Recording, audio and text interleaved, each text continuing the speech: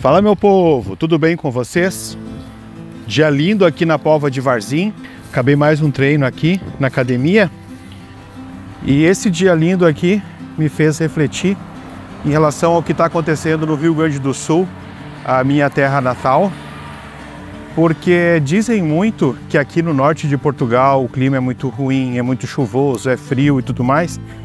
E eu sempre dou como exemplo a nossa situação no estado do Rio Grande do Sul, onde a gente tem um inverno que tem uma oscilação de temperaturas muito grande, que isso é bastante ruim no inverno, porque há semanas que a temperatura baixa perto de zero graus, até em Porto Alegre, no interior, às vezes as temperaturas são negativas, e uma semana depois já entra uma frente quente e as temperaturas sobem para 25, 30 graus. Essa variação térmica ela é muito ruim lá no Rio Grande do Sul.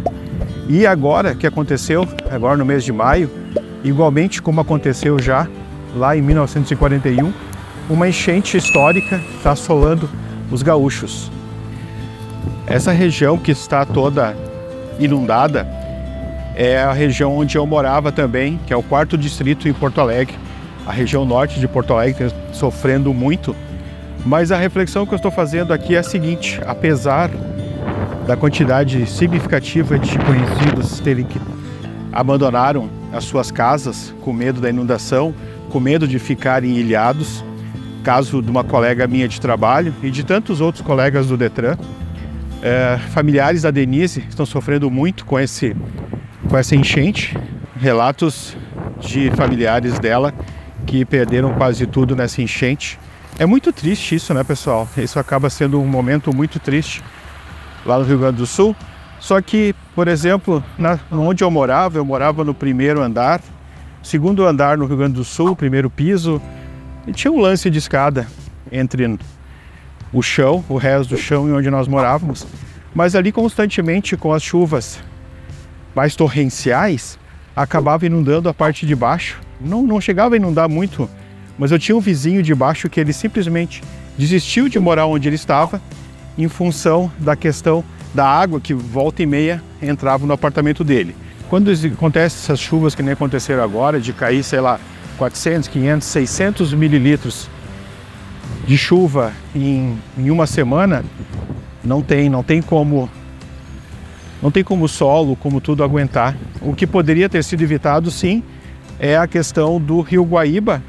Se tivesse algum tipo de proteção para dentro da cidade ali, talvez isso podia ser amenizado. Quando começa a chover demais no interior do estado, uma quantidade significativa de rios, eles acabam desembocando ali em Porto Alegre, ali na região do Guaíba. Então, depois de uma semana de chuvas no interior, isso era bastante óbvio que Porto Alegre, que é a região metropolitana, ia sofrer esse tipo de problema. Contudo, o que eu levo de tudo isso é que apesar dessa tragédia com os meus conterrâneos, eu me sinto muito feliz de estar aqui em Portugal e de não estar passando por tudo isso.